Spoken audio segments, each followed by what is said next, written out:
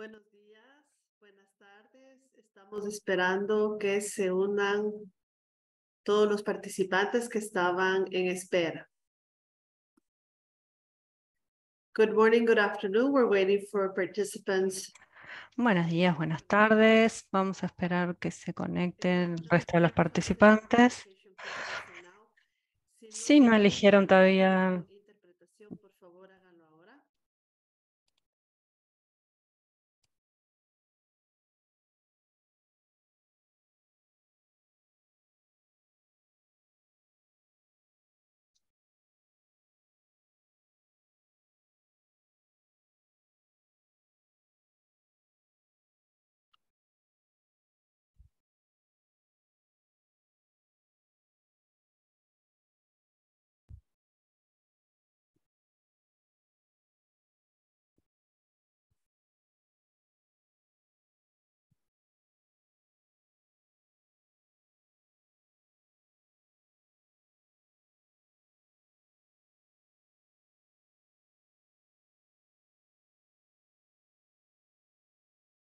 Bien. Buenos días, buenas tardes. Muchas gracias por unirse el día de hoy a nuestro curso panamericano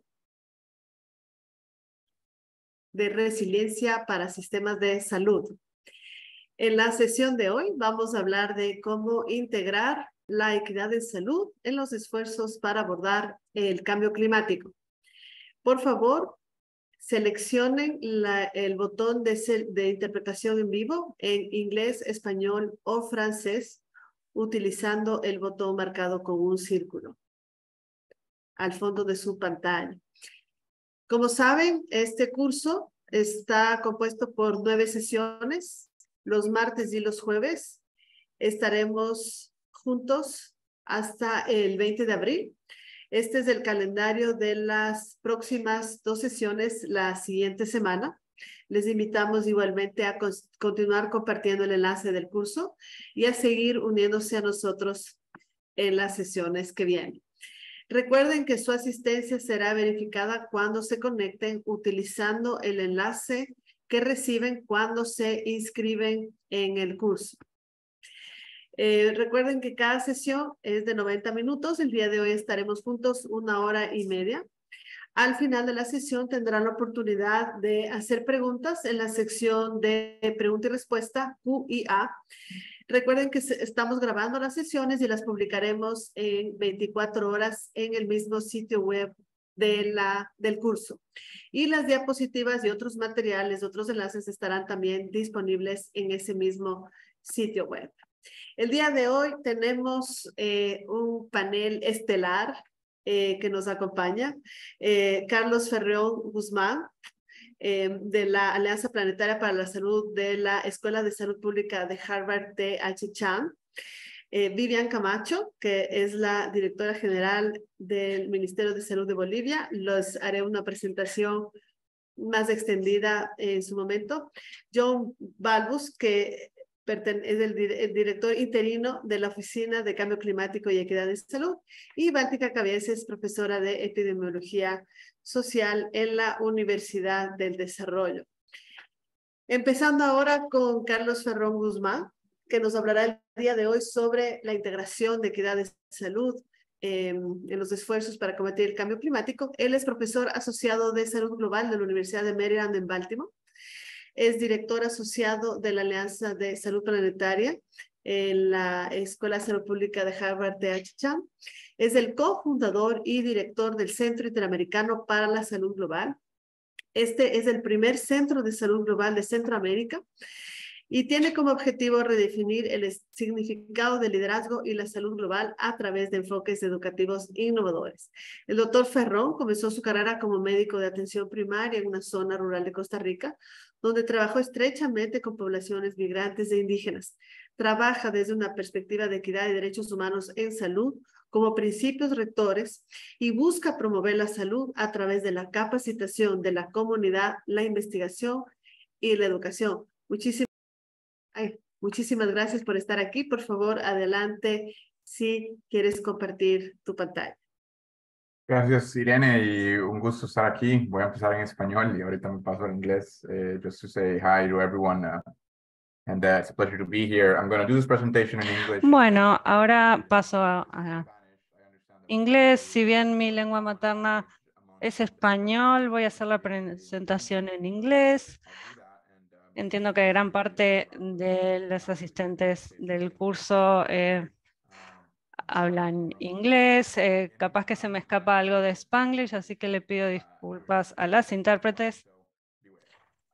Así que estén atentas a eso. Tengo media hora para introducirles a este marco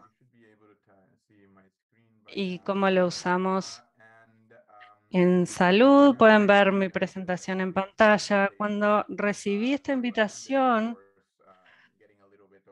para asistir a este curso, eh, para dar un poco de contexto. Eh, me contaron que era para profesionales de la salud, administradores de hospitales, funcionarios de ministerios de salud. Y en, la intención es eh, darles un contexto para prepararse para el cambio climático. Esto es una herramienta, no es un programa cerrado que pueden aplicar así como está. Más bien es una perspectiva, una lente que quiero darles para mostrar cómo la equidad afecta a todas estas situaciones. Me gustaría comenzar como educador que soy. Siempre me gusta empezar aclarando lo que queremos lograr. En este caso, les presento los objetivos del curso que ya conocen. Pero dentro de los objetivos del curso me quiero centrar en lo que está resaltado en negrita, que es aplicar una lente de equidad en la salud a los esfuerzos para abordar la descarbonización de los sistemas de salud y la resiliencia climática. Hoy nos vamos a centrar en esta lente de equidad. Hay dos términos que se usan en la salud, en los sistemas de salud, en nuestra jerga, que son igualdad y equidad. Deben eh, conocer y escuchar los, los términos estos todo el tiempo. Y, eh, o vemos también cosas que se... Vemos dos palabras que a veces se usan indistintamente, que se dividen, por ejemplo, cosas de forma igual o de forma equitativa, como si fuera lo mismo. Pero cuando hablamos en salud en general y en salud global, estamos hablando de la distribución de recursos, independientemente del resultado. Eh, es algo que es igual para todos sin tener en cuenta los resultados. Si pensamos en esos, em, en igualdad eh, sería esto. Cuando estamos hablando de equidad, sí estamos teniendo en cuenta eh, el resultado. Por ejemplo, tenemos hay una figura que a veces circula en redes sociales de tres niños que están viendo un partido de béisbol parados en cajas de distintos tamaños, que son iguales, entonces no todos consiguen ver porque no tienen la misma altura. Y entonces, eh, lamentablemente no tengo esta imagen para mostrárselas. No importa, pero se entiende la idea. Lo que estoy hablando es que cuando pensamos en equidad tenemos que tener en cuenta también el contexto y la meta final. Y cuando aplicamos esta lente de equidad dentro del cambio climático, se tiene que aplicar esta lente no solo al resultado que buscamos, sino también al análisis de los factores que producen el cambio climático, los impactos del, punto, del cambio climático que afectan a distintas poblaciones de distinta manera y también tenemos que aplicarla en la forma en que diseñamos soluciones. Entonces tenemos que ir más allá, más allá de ese resultado, que es que esos tres niños vean ese partido de béisbol. Sino eh, cuando les empiece a mostrar cuadros y los impactos en distintas poblaciones va a quedar más clara esta idea, pero quería hacer esa precisión de que vamos a aplicar esa lente de equidad. Otra cosa importante para señalar es que cuando hablamos de inequidades y no desigualdades, eh, a las diferencias, tenemos en cuenta las diferencias en resultados. Una inequidad es cuando hay una diferencia entre dos poblaciones, una diferencia de salud o de los resultados de salud que nos eh, parece que consideramos injusta. Cuando hablamos de desigualdad, no estamos poniendo un juicio moral en esa diferencia. Cuando hablamos de una inequidad, estamos haciendo un juicio moral y diciendo que algo es injusto. Por ejemplo, la expectativa de vida de las poblaciones indígenas en un país puede ser más baja que la de las poblaciones no indígenas en ese país. Y la diferencia entre las personas eh, indígenas y no indígenas consideramos que es injusta, lo consideramos moralmente eh, malo. Si decimos eh, que no hay un motivo para decir que eso sea injusto, diríamos que es una desigualdad. así que quería dejar esa precisión clara. para entender la relación entre equidad y salud y el clima, eh, voy a usar estos cuadros que seguramente ya los han visto a lo largo de este curso y los seguirán viendo. Entonces, esto seguramente hay gente que lo va a explicar en más detalle y creo que ya lo han visto en otras sesiones, pero lo que quiero mostrar es que aquí lo que se presenta son distintos cuadros que fundamentalmente están diciendo lo mismo, que hay una serie de factores que se ven influenciados por el cambio climático y que además eh, eventualmente afectan a la salud, sea por la exposición en el ambiente, por la resiliencia, la carga genética. Son todos distintos factores que pueden ser determinantes. Y esto también estoy seguro que han visto estos gráficos, así que no me voy a detener en ellos. Pero son reinterpretaciones del mismo concepto de factores determinantes, sean distales, proximales, sea un modelo ecológico, como está, se muestra en la imagen, o un diagrama de flujo, como se aparece en la izquierda. Tenemos lo estructural o distal a la izquierda. Y lo más proximal está en estas partes. Todo esto son distintas interpretaciones del modelo de determinantes de salud.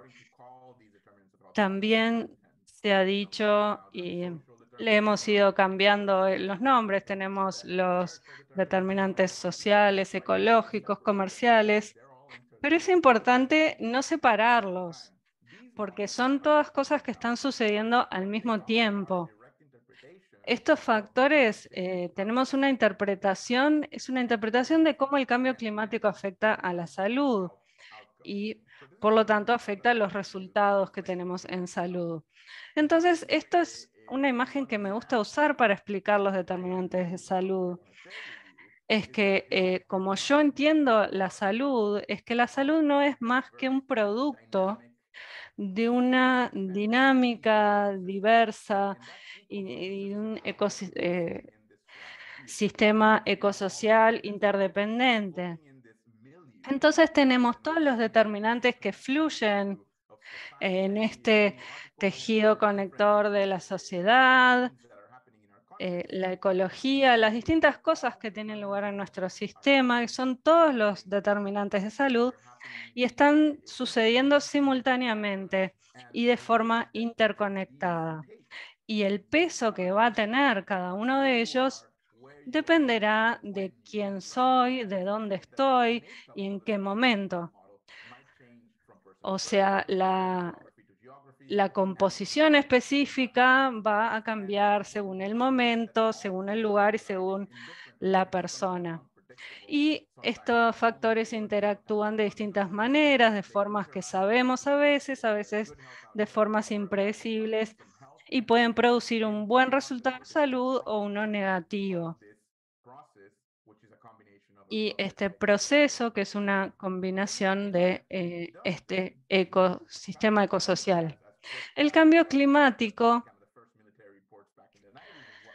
eh, se empezó a hablar en la década de los 90 de, estas amenazas y el cambio climático es lo que llamamos un multiplicador de amenazas, eh, tratando la fenomenología de los cambios en nuestros sistemas climáticos, el aumento de temperaturas, extremos de precipitaciones, inundaciones o sequías, depredación del suelo, todos estos determinantes y sus impactos tienen efectos que se transmiten por todo el sistema.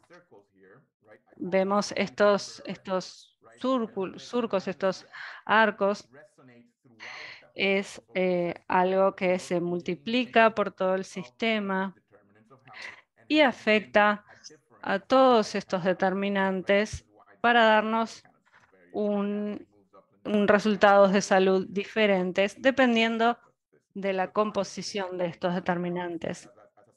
Entonces, el cambio climático como algo que cambia sistemas es lo que llamamos un multiplicador de amenazas.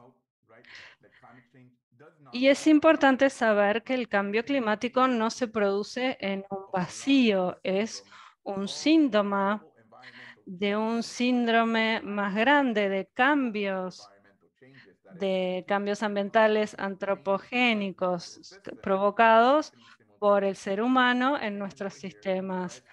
El cambio climático está aquí, pero está sucediendo simultáneamente con la contaminación mundial, la pérdida de la diversidad, la modificación de los ciclos biogeoquímicos, nuestros sistemas alimentarios, el uso de la tierra, el cambio en la cobertura de la tierra, la deforestación, porque eh, deforestamos para alimentar a los animales o para alimentarnos nosotros, escasez de recursos y también estamos hablando de cambios biofísicos en los océanos, está aumentando la acidez, la temperatura, están más contaminados, etcétera todos estos cambios están interconectados.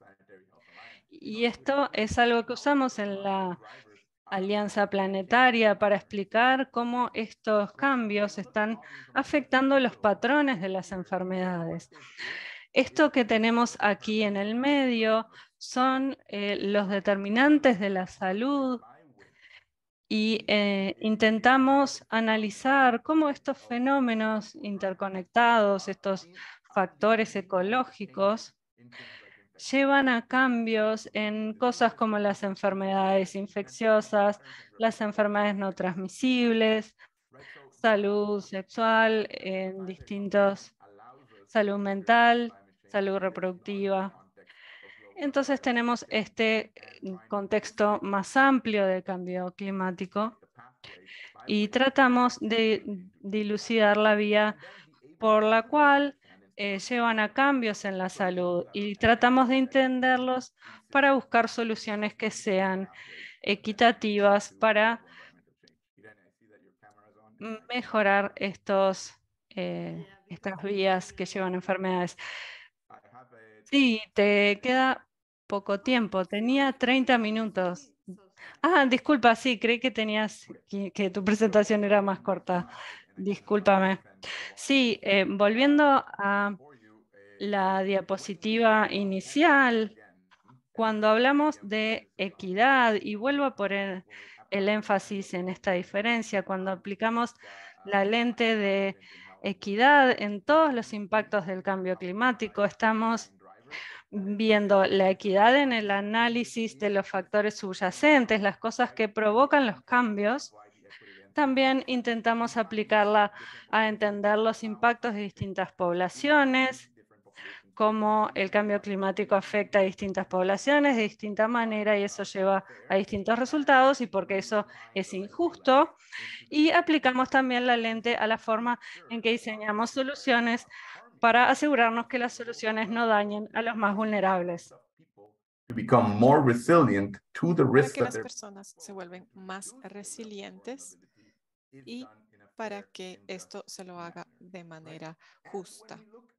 Y cuando vemos el por qué hacemos esto, por qué debemos aplicar un lente de equidad, veamos el nivel de vulnerabilidad que se ve en todo el mundo y cuántas personas vulnerables, sobre todo, que son vulnerables al cambio climático.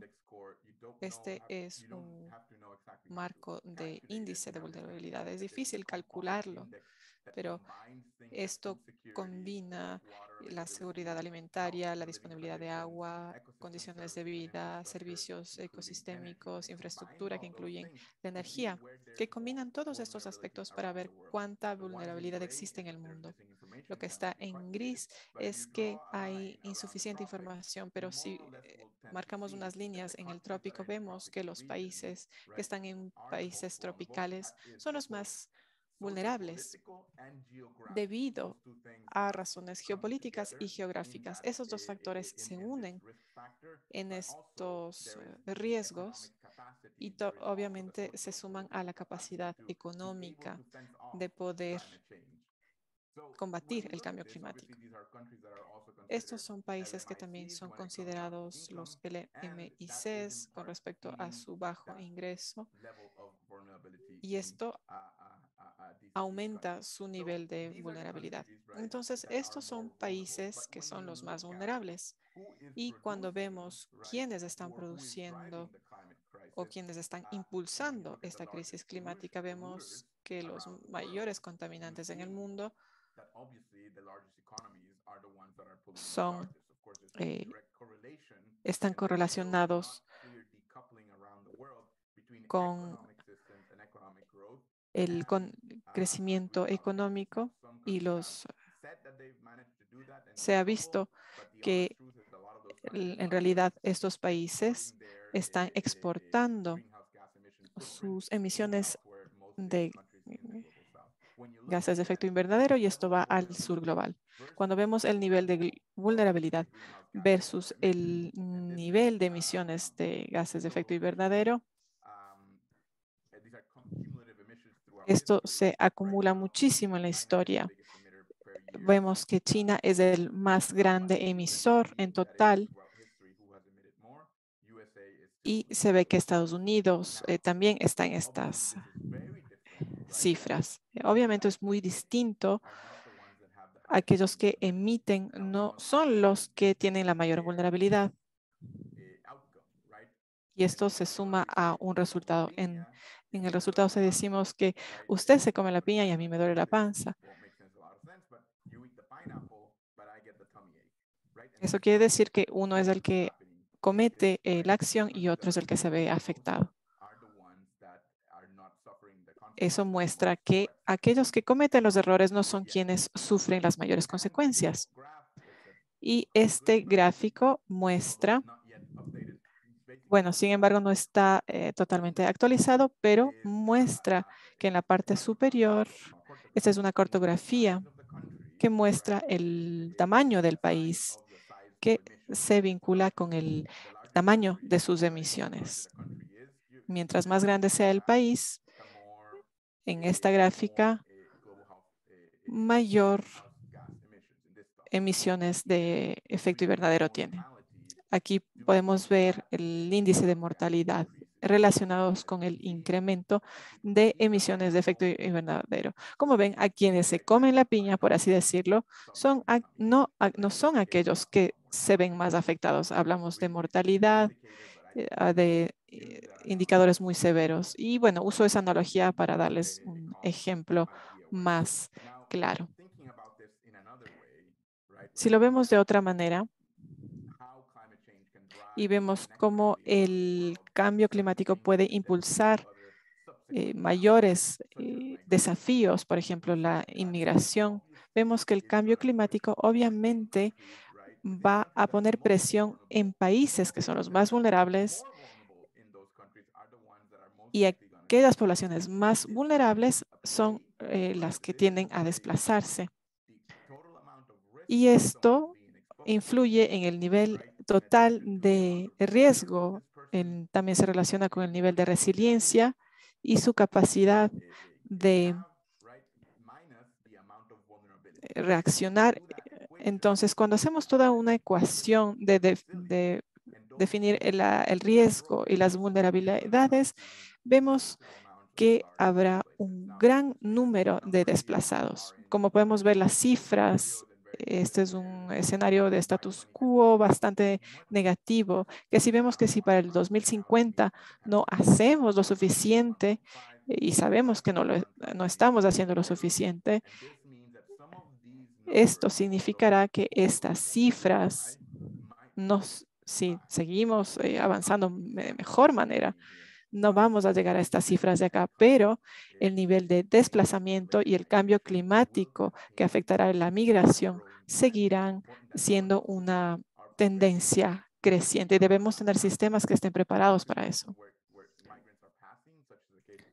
Tendremos migrantes, por ejemplo, eh, países que están eh, recibiendo desplazados de paso, como Costa Rica o también otros países que están recibiendo a migrantes de manera definitiva. Con respecto a la vulnerabilidad y resiliencia, y como esto se muestra en distintos contextos, podemos ver un ejemplo en la parte izquierda, una foto de Países Bajos, sabemos que la, eh, la mitad del territorio está bajo el nivel del mar y ellos están en riesgo de aumento de el nivel del mar. Es por eso que están construyendo eh, distintas eh, infraestructuras con el apoyo de expertos, están mejorando sus capacidades y tienen también obviamente los recursos económicos para hacerlo.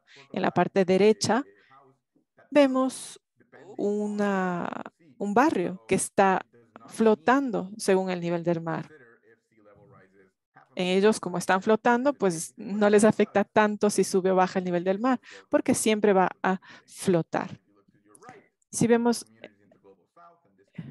esto era en la parte izquierda, perdón. En la parte derecha podría ser el caso del sureste de Asia, de en Timor, eh, en otros países que están situados en el sur global.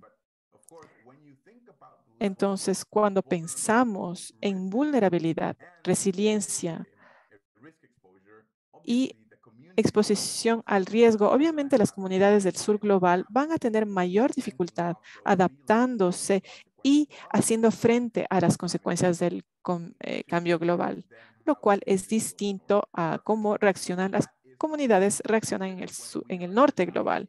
Esto es algo que considerar cuando estamos analizando los eh, impulsores, los impactos y las soluciones. Así que debemos tomar en cuenta este lente de equidad. Cuando hablamos de los impactos, estos serán más evidentes en poblaciones eh, más vulnerables con mayor riesgo y que requieren más resiliencia. Y esto obviamente va a afectar sus dietas porque va a afectar sus cultivos, las condiciones climáticas de su tierra, por ejemplo, mayores precipitaciones, mayores sequías, pero habrá otros factores que les afectarán. Es por eso que nosotros como investigadores tratamos de hacer conexiones de estos factores para tener resultados mejores. Uno de estos aspectos es evaluar cómo eh, las emisiones de CO2 afectan la calidad de los micronutrientes. Esto es la cantidad o nivel de cultivos que están en riesgo de inundación. También vemos que mientras más eh, afectado se ve el eh, medio ambiente, menores micronutrientes se van a encontrar. Y estos, eh, esas reducciones de micronutrientes pueden variar de, en porcentajes considerables. Cuando pensamos en esto, si solamente un 5% podría no sonar tanto, pero cuando las comunidades en el mundo están al borde de la desnutrición o ya están expuestas a la desnutrición debido a un eh, déficit de hierro y tienen anemia, cuando tomamos este 5, 7%, 10% de su nivel de micronutrientes, van a tener un mayor riesgo de desnutrición. Eso es un riesgo acumulado que tendrá terribles consecuencias. Eh, por ejemplo, la incidencia de malaria, de tuberculosis o VIH. Estos son efectos acumulativos. Es importante que entendamos estos aspectos en conjunto, no de manera aislada. Esto nos ayuda a entender un poco mejor este marco de salud planetaria. Cuando hablamos de los impactos del cambio climático, hay que tomar en cuenta otros, otros eh, aspectos. No solamente vamos a tener menos cultivos, es también que esos cultivos tendrán menos micronutrientes. Y estos factores también se combinarán a otros factores sociopolíticos que causarán que el acceso a estos alimentos esenciales en el mundo sean menos y menos disponibles, ya sea por el aumento de los precios o por eh, la calidad de almacenamiento o porque haya nuevas plagas debido al cambio climático. Todo esto se puede combinar y causar un escenario en el que el acceso a los alimentos será reducido y afectará a los más vulnerables. Hablando de las poblaciones más vulnerables, obviamente se verá afectada la salud materna. No voy a cubrir todos estos eh, temas porque hay mucha literatura disponible y ustedes sabrán de cuáles son estas poblaciones que son más vulnerables en nuestros países, por ejemplo, recién nacidos, madres eh, que acaban de dar a luz. Eh, estas eh, poblaciones se ven afectadas por el desplazamiento de poblaciones y otros aspectos. ¿Cómo entendemos esto para futuro? En esta gráfica, y ya estoy por terminar, en esta gráfica se muestra que hay un nivel de cambio climático. Y lo vamos a llamar simplemente cambio climático. De izquierda a derecha va de poco a mucho. Y también tenemos la ganancia o pérdida de salud relativa. Y para mostrarles que en la actualidad lo que sucede en el mundo es que las poblaciones que tienen más poder, más acceso a la tecnología, a la voz política, a la economía y a recursos de conocimiento, estos países, pese a que existe el cambio climático y este está afectando su salud, países que tienen ingreso medio o alto, es importante que haya una diferenciación en el cambio climático, de que las personas del uh, sur global, norte global, el Caribe. Esta es simplemente una manera de entender las dinámicas de poder que tienen muchas dimensiones, ya sea con respecto al ingreso, a si están desarrollándose o en vías de desarrollo, si son minorías, mayorías, personas de color o de ascendencia europea. Todo esto es bastante unidimensional, pero es importante entender que estas dinámicas de poder son multidimensionales. Es por eso que debemos considerar género, ingreso, religión, nacionalidad, educación, orientación sexual, capital social. Todo esto debe considerarse cuando analizamos el poder, porque dentro de nuestros países de ingreso bajo, existen poblaciones que tienen poco poder. Entonces, cuando vemos esta gráfica, no se trata de países ricos o pobres, sino de poblaciones con más o menos poder. Poblaciones con menos poder ya tienen pérdidas de salud. Las poblaciones con mayor poder tienen paradójicamente mayor eh, ganancia relativa de salud. No, no voy a entrar mucho más en detalle, pero cuando esto sucede en la actualidad, como vemos aquí, vamos a ver una crisis en el bienestar de la eh, sociedad alrededor del mundo. Y con esto me detengo.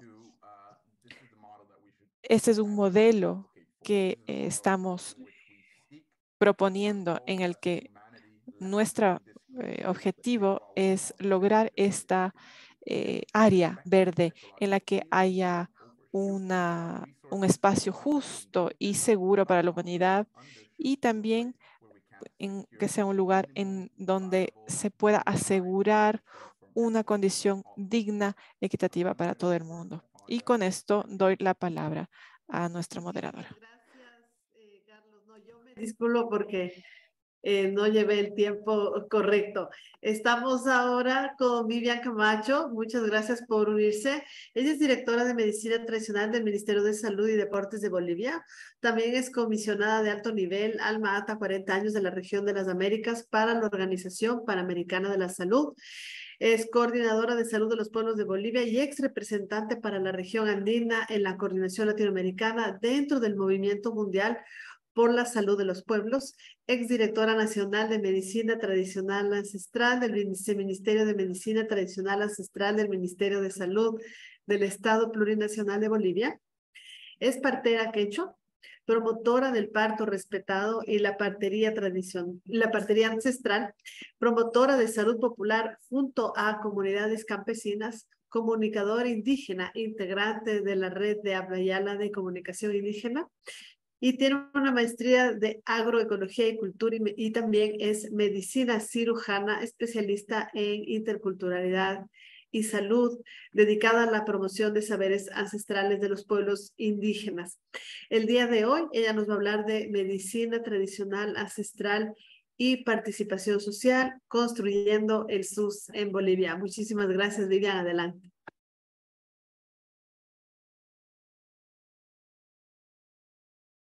Estás con el micrófono silenciado. Ahí. Eh, muchas gracias, un abrazo muy grande desde Bolivia. A cada uno, a cada una de ustedes un gran saludo. Eh, suma puncha cachun tukuikunapa, hatuna paikui tukuy kangunapa, no gasuti pipicamacho, kai Bolivia, koya mante tiakuni, hatuna paikui.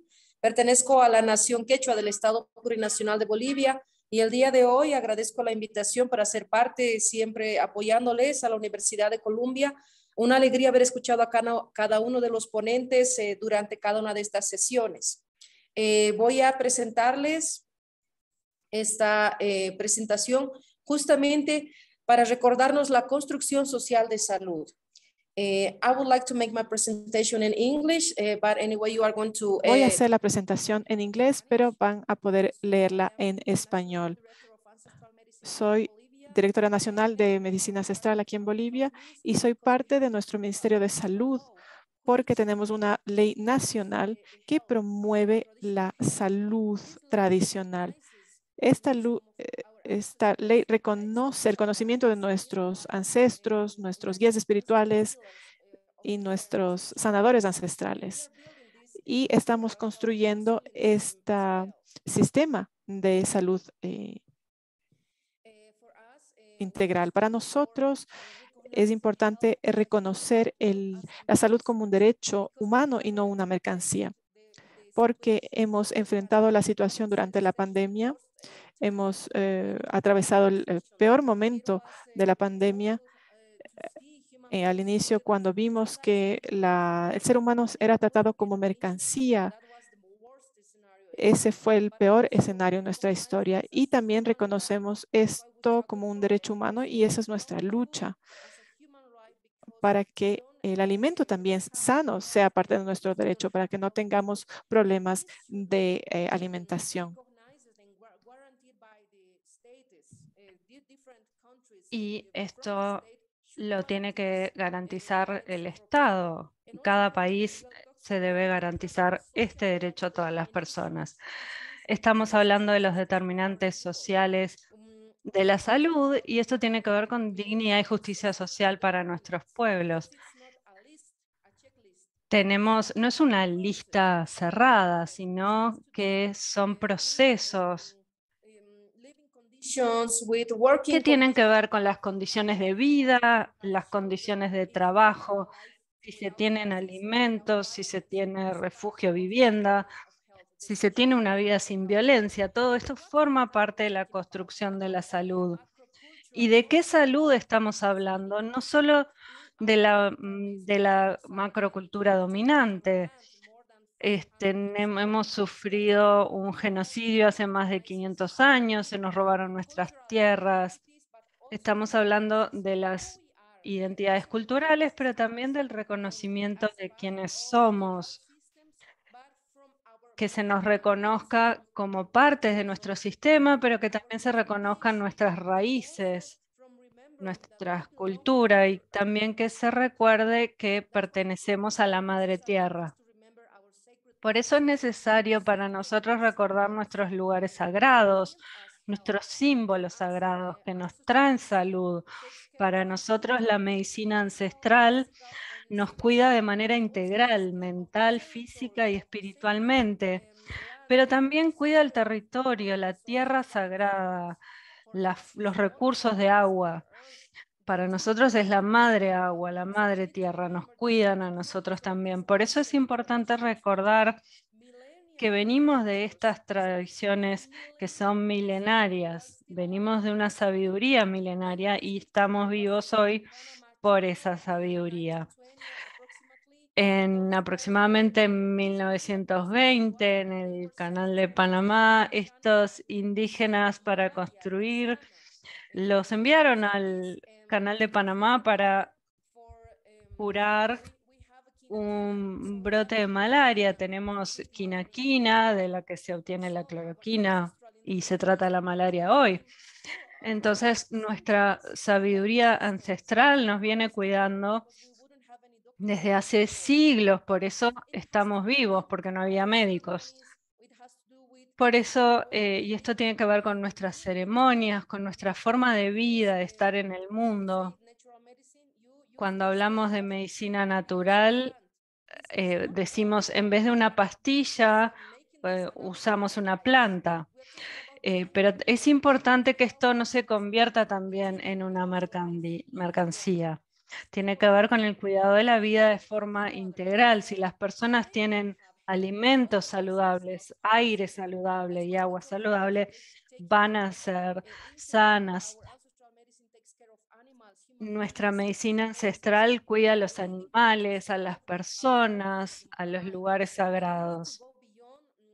Y tenemos que ir más allá del dominio económico que tiene que ver con el capitalismo, la, mercantilización de la salud, que nos ha llevado a esta terrible situación que vivimos durante la pandemia, por ejemplo, en la que muchas personas no tenían nada para comer, pero tenemos por otra parte multimillonarios que multiplicaron a su vez sus fortunas. Y eh, tenemos que denunciar estas situaciones y transformarlas tenemos que hacer un diálogo entre la medicina convencional occidental y la sabiduría y, la medicina ancestrales. Todo esto buscando justicia social para todos, porque como pueblos indígenas ancestrales no solo hemos sufrido el racismo histórico, sino la injusticia históricamente.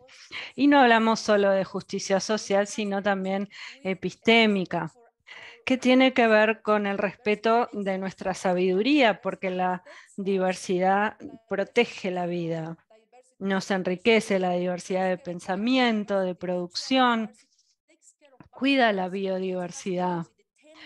Tiene que ver con el cuidado tierno, la reciprocidad, la solidaridad, que tiene que ver con nuestra medicina ancestral, con el equilibrio, buenas acciones de buena manera. Y tenemos que recordar que no somos dueños de la tierra, no es nuestro recurso, le pertenecemos a ella, es nuestra madre, la Pachamama.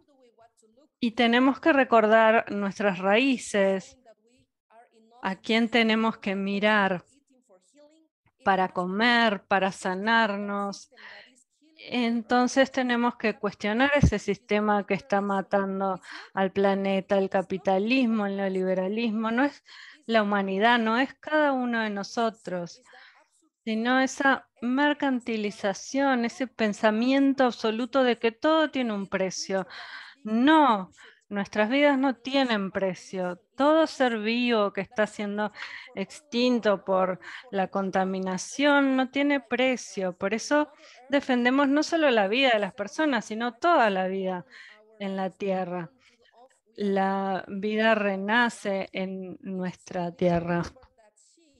Entonces tenemos que recordar que ella, la Pachamama, nos cuida dentro de un ciclo sagrado de plantación de semillas, de cosecha, con un equilibrio de cuidado de la naturaleza. Tenemos que recordar que somos sus semillas, somos el más maravilloso sueño de nuestros ancestros vivo. Y si no hacemos esto hoy, no hay forma de que la humanidad pueda sobrevivir. Es absurdo pensar que se podemos llegar a pagar para comprar un litro de aire, por ejemplo, y sabemos que hay corporaciones que venden agua. Yo provengo de Cochabamba y es el único lugar en el que nos arrebataron el poder luchar en las calles por defender nuestras fuentes de agua. Tenemos que recordar que las oraciones de nuestros ancestros, de toda nuestra espiritualidad indígena. Nos, el profesor mencionaba en su primera presentación que el sur global está sufriendo. No somos quienes estamos destruyendo el mundo, es la codicia, el neoliberalismo, el capital, pero estamos luchando con nuestra espiritualidad ancestral, tenemos que sobrevivir todos mano a mano. Y yo he aprendido de las comunidades de Chiapas, una vida sana es una vida sin injusticia, sin humillación, una comunidad libre y unida, en equilibrio entre los campesinos, quienes cuidan de la tierra. En Bolivia teníamos un, yo fui viceministra, ahora soy directora nacional en este organismo y estamos complementando las formas ancestrales con las formas occidentales. Hay un diálogo entre esas distintas sabidurías basado en solidaridad, en compartir lo que sabemos. También integro Alma Ata, 40 años Alma Ata, como alta comisionada y en estos documentos contamos eh, en los que se trabajó en 2018 se cuenta de qué trata esto. Y durante la pandemia hicimos estos documentos y mostramos estos ejemplos de cómo las poblaciones indígenas se cuidaban porque no había otros recursos. Pero históricamente nuestras ceremonias, estos hermosos ejemplos que les muestro de este pueblo, que cantaban y, pedían, querían sobrevivir, querían vivir. Entonces tenemos que recordar que la vida es una fuerza sagrada que debemos preservar. No importa cuán grande sea la destrucción, porque quienes van a ser más afectados son las personas más pobres, especialmente las personas indígenas en nuestro sur global. Y yo les recuerdo que tenemos que construir comunidades que se preocupen por la vida. Es el, un tiempo de un nuevo comienzo, de un reflorecer de nuestros pueblos. nuestros, nuestros, las personas que antes eran perseguidas y asesinadas. Debemos promover la complementariedad de las distintas medicinas y sabidurías, la producción y la reproducción de la vida.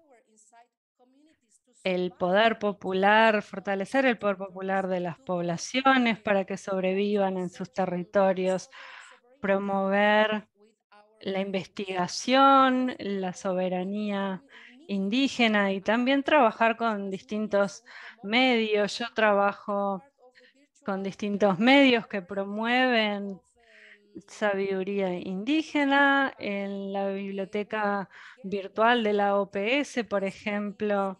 Estamos reuniendo distintos testimonios, eh, distintas presentaciones y artículos académicos que hablan de esto y de la integración de la salud que nos cuida en nuestras comunidades.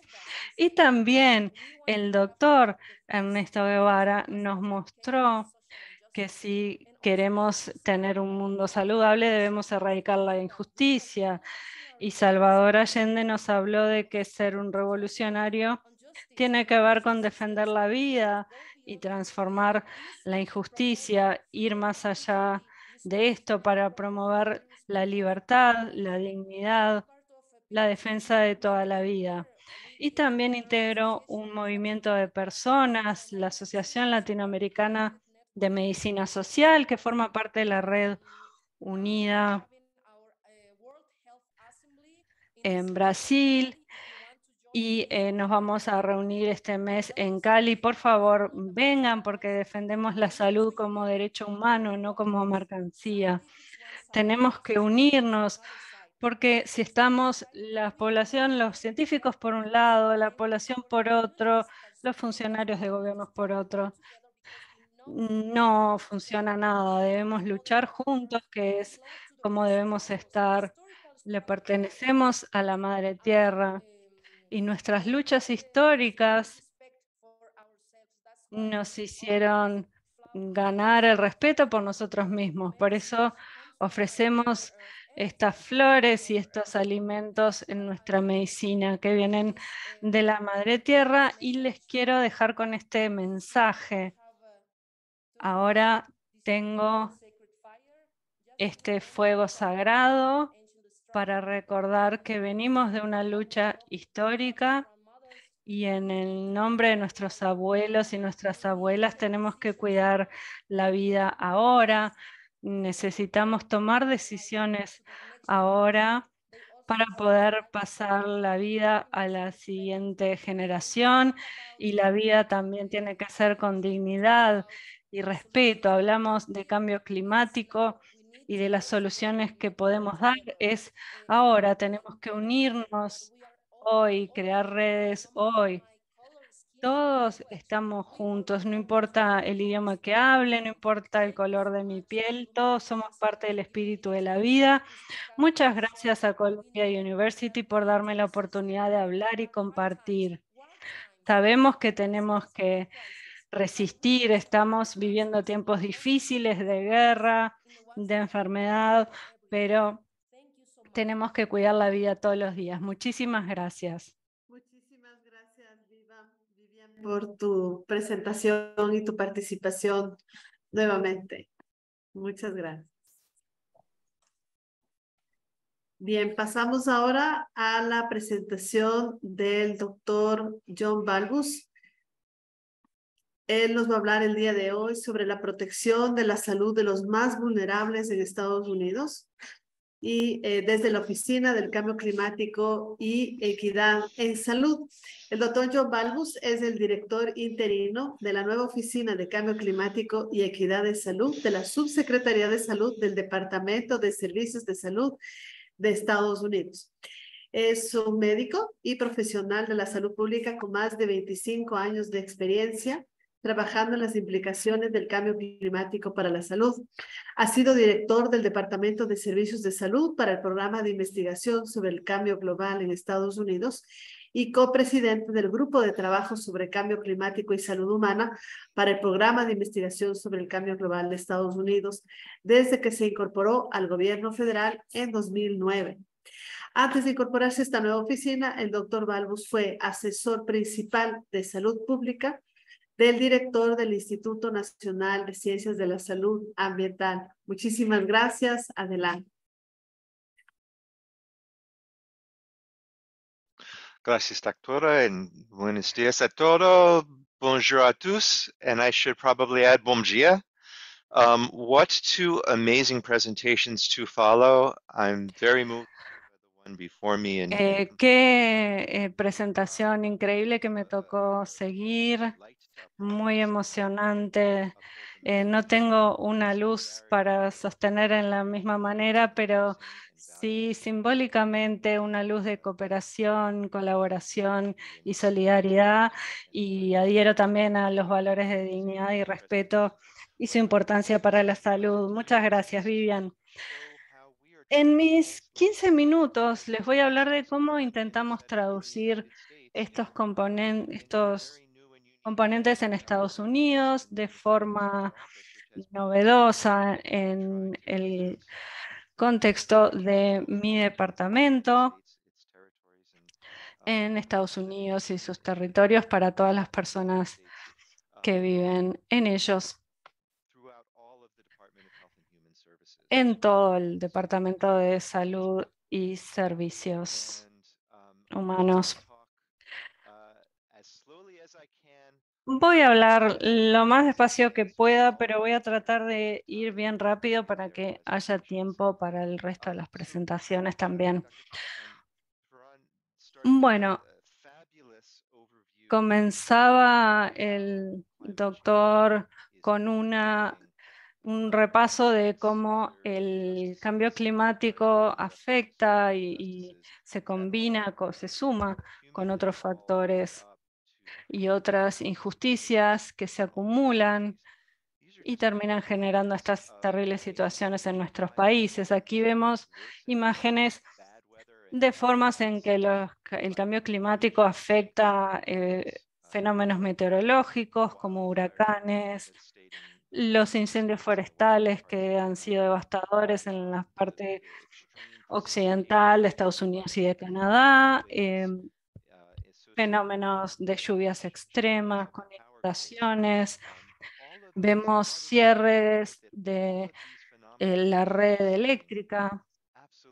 Y todo esto que vemos afecta la salud de las personas definitivamente y tiene un impacto mayor en las personas de menores ingresos que eh, no tienen eh, vivienda adecuada, por ejemplo, que no dominan el idioma general, y una cosa que quería mencionarles es que este fenómeno también tiene un impacto diferenciado en el sistema de salud en sí. Y parte de proteger a quienes son más vulnerables en nuestros países tiene que ver con asegurar la resiliencia de las partes de los sistemas de salud que son nuestra red de contención, que son responsables por la salud y el bienestar de estas personas. Este es uno de los marcos que Carlos mencionó. Yo lo elegí por dos motivos. Uno es porque destaca muy bien y muy claramente que los impactos del cambio climático se suman, se multiplican entre sí, él decía, y se combinan como determinante social de la salud, del cambio climático, además de la pobreza, el bajo nivel educativo, violencia doméstica, inseguridad alimentaria, inseguridad energética. Entonces, eh, esto muestra los impactos del cambio climático a nivel comunitario, a nivel individual y cómo se van combinando para generar mayores riesgos para las personas que históricamente y actualmente sufren la falta de mm, recursos suficientes y adecuados. Y, pero otro motivo por el que muestro este cuadro y quiero destacarlo mucho es que eh, los impactos del cambio climático sobre quien, las personas más frágiles o traumatizadas de nuestros países no es solo, por ejemplo, el dengue, eh, un, peores casos de asma, sino que también afecta el bienestar mental, el estrés en general, porque se acumulan los factores estresantes, ansiedad, depresión. Y esto se traduce en fenómenos como el consumo de drogas, aumento de las tasas de suicidios. Y realmente tenemos una epidemia de esto en Estados Unidos, definitivamente. Y es uno de esos impactos que no se puede separar de eh, los distintos factores estresantes acumulativos del cambio climático y otras injusticias sociales. Y obviamente las personas en las zonas eh, indígenas, eh, hay una conexión intrínseca entre el ambiente físico y el bienestar de la persona en su espiritualidad y obviamente esto tiene eh, consecuencias devastadoras en todo el mundo. Esta es un diagrama de flujo que nos muestra cuadros y mm, flechas que nos muestran cómo la justicia ambiental tiene varios caminos y tiene exposiciones eh, desproporcionadas. Vemos eh, que los efectos compuestos de la injusticia climática, la discriminación y también el eh, trato eh, traumático tiene sus efectos. Estos son impulsores de impactos de salud inequitativos que tienen sus causas. Esta es una metáfora de un árbol que tiene eh, como raíces el racismo, la injusticia o el despojo de derechos históricos. Y voy a presentarles otra metáfora que muestra los impulsores eh, eh, que van hacia arriba. Por ejemplo, vemos que a veces las soluciones son solamente parches eh, al momento de proteger a las personas. Lo que vemos como razones esenciales de río arriba eh, son las que se muestran en la parte eh, superior de la gráfica. Vemos qué es lo que está en, el, en esta gráfica, en este río. Vemos que hay agua arriba, a medio camino y aguas abajo. En la parte de arriba vemos que está eh, la prevención y la salud pública, los socios público-privados en multisectores. En, medio camino vemos que están los eh, servicios humanos. Y en Estados Unidos me gustaría enfatizar que una de las cosas que suceden eh, con nuestra oficina es que tratamos de que todas las personas que trabajan en servicios humanos y y también en servicios de salud. Ellos eh, trabajan de manera combinada. Y el lado de servicios humanos que proporcionan apoyo de ingresos, dinero para pagar electricidad, ellos son una parte crítica de la protección de nuestra población más vulnerable de los impactos del cambio climático y ellos ahora trabajan de la mano con la eh, parte de mm, estructura eh, de salud. Y este es el contexto en el que se creó nuestra Oficina de Cambio Climático y Equidad eh, Sanitaria. Fue creado por el, presidente Biden por medio de la Orden Ejecutiva 14008, que tiene como mandato que esta oficina se cree que fue creado en agosto del 2021 no les voy a contar todo sobre nuestra oficina, pero sí quisiera mostrarles que algunas oficinas eh, pueden ser modelos eh, eh, para las Américas. Y esta es nuestra perspectiva climática y de salud. No somos los primeros en hacerlo, pero sí los primeros en cubrir un área tan amplia eh, climatológicamente. La Oficina eh, del Caribe fue una de las iniciales y todos los pronósticos de huracanes, de otros fenómenos eh, se han tomado en cuenta. Se habla de un pronóstico para los próximos 30 días y se habla también de las poblaciones vulnerables. Esta es otra imagen. Lamentablemente es bastante cargada, pero en la parte derecha podemos ver que eh, se ve una lista de indicadores que estamos utilizando para darle eh, ideas a nuestros departamentos eh, de salud con respecto a temáticas de cambio climático que muestran indicadores de vulnerabilidades que van desde las personas que tienen condiciones médicas eh, subyacentes como el asma, personas que viven en pobreza o que tienen una carga con respecto al uso de energía o cuando hay indicadores eh, de raza, por ejemplo, o exposición a factores de estrés, por, eh, ya sea por discriminación, etc. Nuestras oficinas también trabajan con el CDC para crear los indicadores eh, de justicia medioambiental. Aquí hay muchos indicadores en la parte de, la derecha. Hablamos de vulnerabilidad social, de carga ambiental, de vulnerabilidad de salud.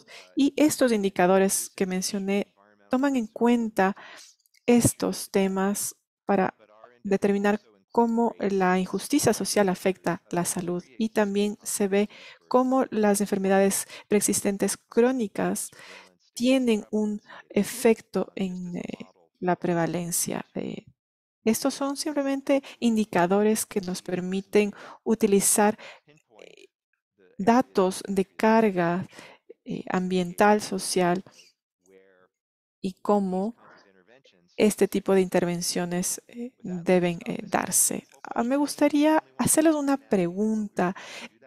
No sé si se permite hacer esto, pero me gustaría hacerles una pequeña encuesta y es la siguiente para, eh, bueno, sí, les voy a leer, para abordar las diferencias en la vulnerabilidad en cambio climático, es esencial abordar los determinantes sociales de la discriminación histórica actual de salud. ¿Falso o verdadero?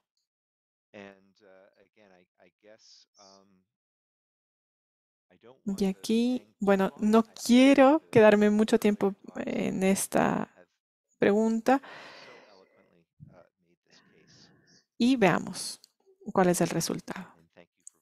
Muchas gracias por sus respuestas. Voy a tratar de seguir avanzando. Ahí está, puedo seguir avanzando. Voy a intentar lo siguiente. Ahí está. Entonces, y sé que esta es una diapositiva bastante cargada, pero lo que quería mostrarles aquí son dos puntos. El primero es que nuestra oficina tiene una gran misión que eh, incluye varias prioridades. La primera es mantener o incrementar la resiliencia de los más vulnerables y también tener acciones climáticas para reducir las disparidades de salud. Y también establecer determinantes de salud por acción climática. Y también la prioridad tres es trabajar con el sector de la salud en Estados Unidos para tener mayor sostenibilidad y resiliencia en el sector de salud. En la parte superior derecha vemos una foto de eh, cuando fuimos parte del COP26 en Glasgow hace dos años. Ahora se lo conoce como la Alianza para la Acción Transformadora para el Cambio Climático. eh, varios países de las Américas están formando parte. Y en este momento somos una oficina bastante pequeña, no tenemos mucho presupuesto, pero estamos trabajando de manera cercana con los sistemas eh, eh, de salud eh, federales para tener mayor resiliencia. Una de las maneras en las que estamos haciendo esto es trabajar con los centros comunitarios de salud que suelen estar ubicados en barrios que suelen ser más discriminados, en donde están las poblaciones más vulnerables. Y también trabajamos para apoyar su nivel de capacidad, para seguir construyéndola, para que estén más conscientes de los riesgos climáticos que sufre su población y también proporcionando servicios. También trabajamos para proporcionarles fuentes de energía renovable, por ejemplo, paneles de energía solar de respaldo. También se ha integrado la disposición de recursos, no solamente para una mejor eh, entrega de servicios de salud, sino también para que mejoren los servicios eh, humanos, el apoyo también el departamento financiero, para cubrir todas las necesidades de la gente, reconociendo que existen otras necesidades, por ejemplo, de una vivienda segura, tomando en cuenta la temática del cambio climático. Y todo esto se une en un concepto que ha sido promovido en los Estados Unidos y sé que también se da en otros países del mundo, que es el crear un centro diseñado y liderado por la comunidad y dirigido por la comunidad y también con el apoyo de una mezcla de recursos. Estos han sido establecidos en varias partes de los Estados Unidos. En Baltimore, la semana anterior que estuve ahí, vi que esa es una muestra de cómo se están movilizando recursos eh, del Estado con un trabajo de la comunidad para conectar eh, y tener una mejor provisión de servicios de salud comunitarios, tomando en cuenta eh, que es importante crear espacios de refugio eh, para eh, la salud en estos centros. Y me gustaría pasar a la última pregunta, que es la siguiente. La Oficina de Salud y Servicios Humanos y de Cambio Climático y Equidad está buscando proteger la salud de aquellos más vulnerables y los impactos del cambio climático en los Estados Unidos al fortalecer la resiliencia de las siguientes opciones. Los centros quirúrgicos de pacientes, centros médicos académicos, centros de salud comunitarios o los hospitales eh, de eh, seguridad en red o E y D como última opción. C y D, perdón. Voy a ver si puedo cambiar el fondo. Sí.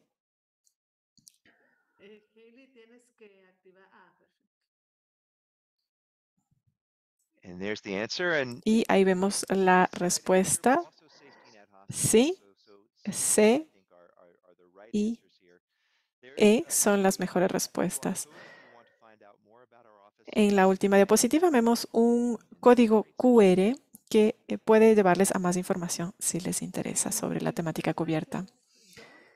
Eh, seguro que buscaremos la información en la web donde también subiremos esta presentación y las personas tendrán acceso al eh, código QR. Muchísimas gracias nuevamente. Vamos a terminar el día de hoy con la presentación de Báltica Cabieses. Ella es enfermera partera, magíster en epidemiología y doctora en ciencias de la salud con un énfasis en epidemiología social de la Universidad de York en Inglaterra. Es profesora de epidemiología social y exdirectora del programa de estudios sociales en salud de la Universidad de Desarrollo de Chile. Es profesora visitante en el Departamento de Ciencias de la Salud de la Universidad de York, miembro del Consejo de Lancet Migration para América Latina y coordinadora nacional de la Red Chilena de Investigación sobre Salud y Migración, RECHISA. Es consultora en equidad en salud, salud de los inmigrantes e investigación, acción en ciencias de la aplicación en comunidades social y culturalmente diversas Entre sus líneas de investigación están desigualdades sociales en salud, salud de los migrantes internacionales e investigación sobre pacientes. Ha dictado siete libros académicos, ha participado en más de 50 proyectos de investigación en Chile, América Latina y el extranjero y tiene más de 150 publicaciones científicas. Em, ella nos va a hablar el día de hoy sobre la migración en la frontera de Chile, Perú y Bolivia durante la pandemia. Gracias, Báltica. Adelante. Muchísimas gracias, estimada Irene. Gracias, Hailey.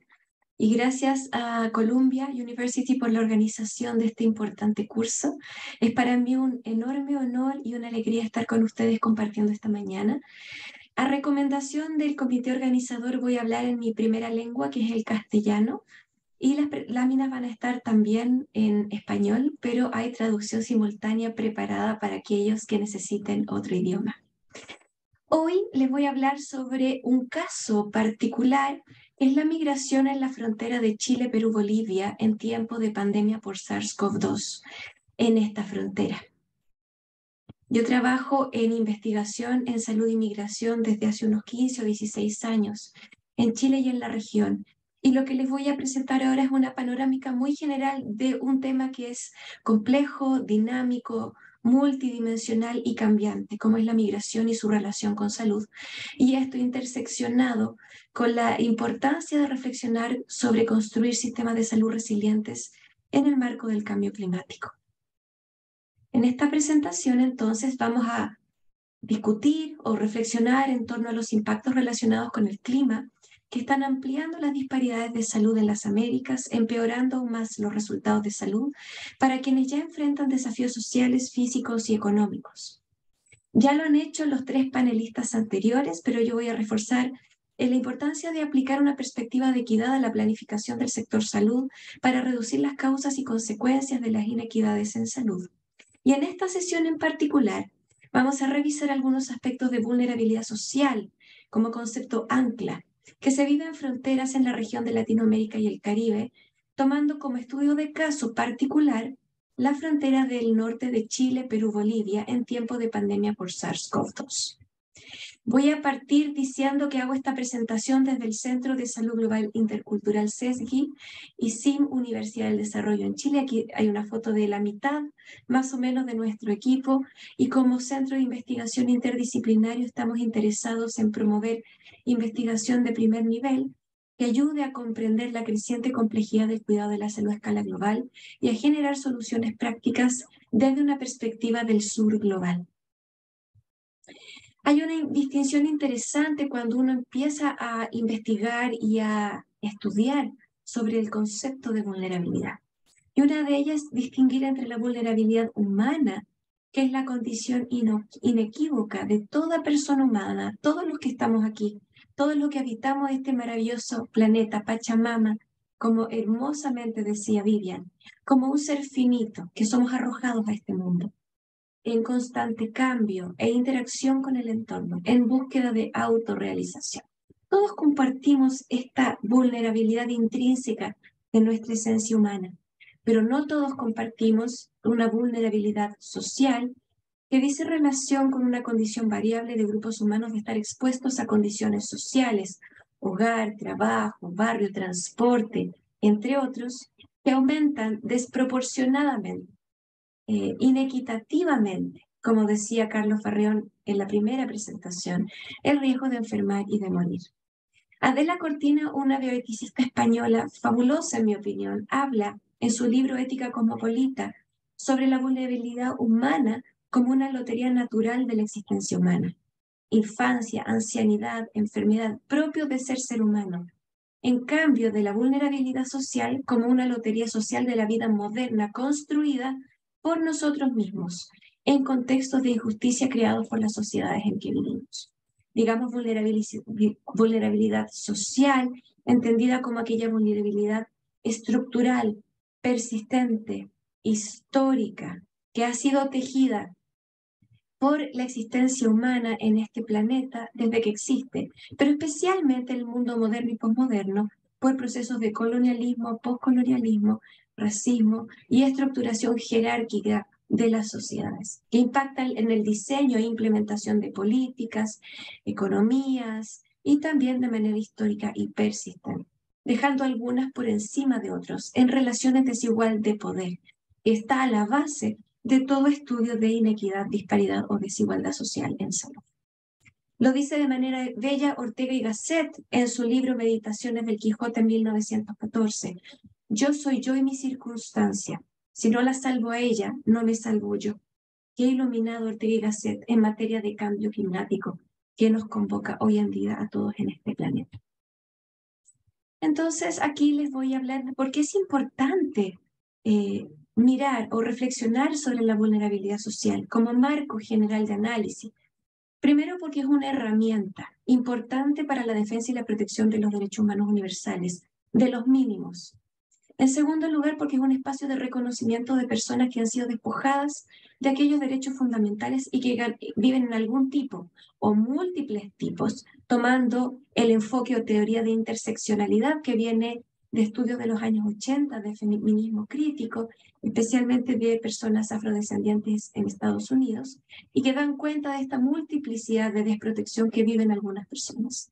No es solamente si se es mujer y se, se es perteneciente o identitaria a pueblo originario, es la intersección entre, entre ellas que amplifica, no sumativamente, sino que multiplicativamente, también lo mencionó Carlos, en la experiencia de riesgo de enfermar prematuramente y de morir prematuramente. También porque la vulnerabilidad social está estrechamente relacionada al enfoque de inequidades y de cambio climático. Y de eso Carlos, Vivian y también John nos eh, hablaron en las presentaciones previas con distintos énfasis, pero por cierto todas y tejiendo hacia la misma idea. Y porque también promueve la acción, mirar esto, si se mira desde una perspectiva de injusticia, modificable y prevenible, que es la definición básica de inequidad, entonces nos moviliza la acción, en tanto a que se debe medir, reportar, prevenir, controlar y reparar. Les voy a hablar en estos minutos sobre migración y salud en la frontera Chile-Perú-Bolivia. Para eso voy a hacer dos láminas muy breves sobre flujos migratorios en América Latina y el Caribe y su relación con vulnerabilidad y riesgos de vulnerabilidad. Lo que les estoy poniendo aquí es un mapita donde aparece México y Centroamérica. ¿Ya?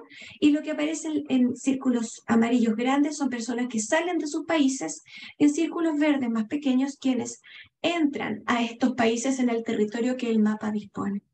Entonces tenemos en México, principal corredor del mundo migratorio, un movimiento permanente de personas que salen de Centroamérica y quieren llegar a América del Norte, el sueño americano, Estados Unidos y Canadá. Importante número, el más grande número de personas de tránsito pasan por México queriendo llegar. En la frontera norte, una frontera política, simbólica, pero también física, un muro físico, hace que muchas personas reboten allí y tengan que retroceder y se queden en México. La principal eh, población que busca esto, digamos que es todo el cono sur y centroamérico, pero especialmente el triángulo norte de Centroamérica, Guatemala, Honduras y El Salvador. Países que eh, generan población emigrante todos los años para poder llegar a este sueño americano, que por cierto se comprenden como desplazamientos forzados y donde una de las razones también es el cambio climático. Entonces el cambio climático y los desplazamientos humanos como nuevos desafíos para sistemas de salud del mundo, pero también en diálogo con flujos migratorios históricos en nuestra región. En el cono sur tenemos aquí una lámina que da cuenta de personas de salida y de entrada para los distintos países. Destaco aquí eh, primeramente el éxodo venezolano. Ya más de 7 millones han dejado este país, cerca de 2 millones están en Colombia, siguen bajando Ecuador, Perú, Chile, Argentina y por el oriente hacia Brasil directamente. Chile se ha caracterizado por haber sido por décadas un, país, un país generador de migrantes, de emigrantes, personas chilenas que salían especialmente en periodo de dictadura militar, a empezar a ser en los últimos 15 a 20 años un país que empezó a ser atractivo para la migración, para la llegada de extranjeros. Y hoy tenemos en torno a 1.800.000, 2 millones estimados, eh, el censo poblacional estima por fuente oficial un millón y medio, quienes nos dedicamos a este tema creemos que son ya más de 2 millones, y de estos, un tercio de origen venezolano, lo que muestra el gráfico aquí abajo, luego Perú, Haití, Colombia, Venezuela, Argentina, Ecuador. La inmensa mayoría eh, países del mismo cono sur, que se conoce como el flujo migratorio de patrón migratorio sur-sur. Haití podríamos decir que es uno ligeramente eh, aumentado junto con Venezuela y Colombia en los últimos 15 años. Hasta antes de eso, Perú era el número uno por más de 100 años. Aquí les estoy mostrando la zanja de la frontera física Chile, Perú, Bolivia. Estamos aquí mirando el desierto de Atacama, el desierto más árido de todo el mundo. Y estas manchitas negras que se ven en la foto son personas que a pie están atravesando este desierto, principalmente de Venezuela, pero también de Ecuador, de Perú y de Bolivia, buscando ingresar a Chile. Esto nos pone en la importancia de hablar sobre fronteras internacionales, la importancia de comprender eh, que existen fronteras políticas, que pueden ser incluso físicas, también lo son simbólicas, culturales, históricas, y que son límites de separación definidos políticamente respecto de zonas territoriales o marítimas entre distintas entidades políticas y las zonas donde las entidades políticas ejercen sus medidas de gobernanza de frontera. Estas comprenden los pasos fronterizos como las que les estoy mostrando aquí, pero también zonas de inmigración o de tránsito, las llamadas tierras de nadie entre los pasos fronterizos y también, por ejemplo, espacios como consulados y embajadas. A propósito de la pandemia de SARS-CoV-2, casi todos los países del mundo cerraron sus fronteras. Al cerrar estas fronteras, esta zanja que yo les mostraba en el desierto de Atacama, pero todas otras, el Darién, Ecuador y Colombia, Ecuador y Perú, Perú, eh, etcétera, todas, en todas las regiones del mundo, se generó el cierre de fronteras. ¿Qué es el cierre de fronteras en general? Se relaciona con la movilidad internacional restringida, ese es el subrayado, el énfasis, restringida, a través de cierres de fronteras de entrada y cambios en visa o requisitos de entrada que existen desde antes como opción, pero que fueron gatilladas por la pandemia. Y en Chile, fíjense ustedes que en materia de pasos no habilitados, o sea, ingreso de personas a Chile por estas fronteras cerradas, restringidas, aumentó sustancialmente eh, desde eh, la pandemia. Eh, y eh, especialmente desde el año 2018, donde en Chile también fue creciendo el interés de personas de países de regiones aledañas para entrar a este país. Les estoy mostrando en este mapita la frontera de la cual hago mención. Está en la frontera Chile, que está aquí el territorio chileno, en el cono norte, con Arica, con Iquique, etc. Aquí está Perú arriba y luego está aquí en el borde de la izquierda Bolivia. Esta es la frontera a la cual quiero hacer mención a propósito del estudio de caso de esta presentación. Colchane, que aparece aquí en morado o, violeta en la lámina, es un pueblito pequeño que tiene una posta rural y que en pandemia, al cerrar frontera, vio el ingreso de más de 7.000 personas por este paso no habilitado buscando entrar a Arica, a Iquique o más abajo a Antofagasta. Hicimos un estudio en esta frontera del cual Irene Torres también fue parte, porque fue un estudio en cuatro fronteras diferentes en la región. Sé que me quedan pocos minutos, querida Irene, te agradezco la atención al tiempo y sé que estoy contra el tiempo en general para esta sesión al ser la última, tengo conciencia de eso. Entonces les voy a mostrar muy rápidamente que hicimos un estudio donde fuimos a explorar qué pasó con estos ingresos desde la voz de autoridades y de equipos de salud en nuestro territorio chileno. A partir de entrevistas y visitas etnográficas encontramos que todos estos temas que aparecen aquí fueron de interés desde la voz de quienes vieron esta entrada aumentada por paso no habilitado en Chile desde los equipos de salud y las autoridades locales. Voy a mencionar solo algunas de estas dimensiones y vamos a presentar más adelante los resultados generales de este estudio. Respecto del proceso migratorio y fronteras, los equipos y las autoridades nos hablaron de problemas de salud, accidentes, personas que perdieron eh, dedos por el frío del desierto, cierre de albergues, nuevos flujos migratorios desconocidos y trayectorias migratorias complejas que no eran conocidos, deshidratación, fracturas, quemaduras en la piel, enfermedades crónicas no atendidas, entre otros. El cruce del desierto sumamente peligroso. Acceso a salud, experiencias de desinformación y discriminación, niños no acompañados y apátridas entrando a Chile, caso que no conocíamos. Y eh, esto no lo voy a leer por razones de tiempo. Y respuesta a la crisis, programas hipotilíticas que vinieron del Estado, eh, vinieron de organismos internacionales, pero primero vinieron de la sociedad civil, que fue la primera en responder.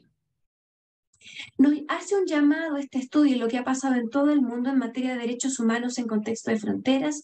Muchas de estas personas se movilizaron en contexto de pandemia, pero a causa del cambio climático, necesitando también cuidados de salud y nos permitió remirar la importancia del derecho a la reunificación familiar y protección a la familia, derecho a la información sobre procesos migratorios, prohibición de esclavitud, trata, tráfico de personas, prohibición de expulsión por causas eh, eh, e informar causales, derecho a la nacionalidad, derecho a la identidad cultural y, por cierto, derecho a la oportunidad de enseñar.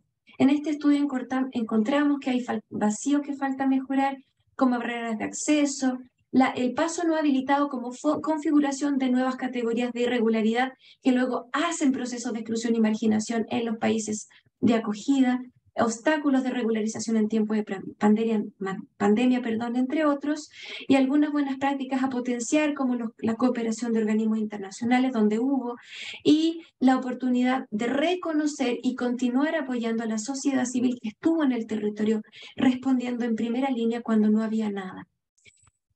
Creemos la importancia de desarrollar sistemas de salud resilientes, pero también conscientes de la migración, que conecten todos estos puntos que hoy generalmente se miran como eh, puntos aislados, donde debemos tratar todos estos conceptos, debemos tener enfoques de interseccionalidad y debemos mirar las inequidades estructurales persistentes e históricas y cómo debemos eh, eh, reconocerlas y modificarlas como materia urgente como decía Vivian también. Si quieren conocer más de este estudio, lo pueden encontrar aquí, estudios similares en, estas, eh, en estos links. Podemos, pueden ustedes, quien quiera, disponer de estas presentaciones de ustedes.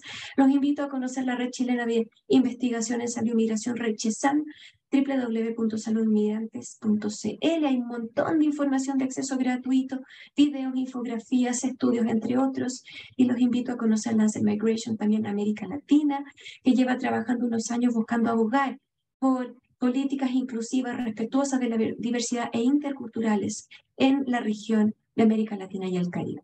Termino con esta imagen de Vicente, un seudónimo, a través de un estudio de una colega de nuestro equipo, Alejandra Carreño, que está haciendo a través de contar historias y dibujos en niños, la reconstrucción de su proceso migratorio desde su propia voz. Y aquí está Vicente con su dibujo de un niño viajando en mula, que son camiones que lo llevan arriba de los camiones, mirando las estrellas por días o semanas, y él dibuja en su historia que un león invisible le robó su mochila, porque perdió su mochila en el trayecto.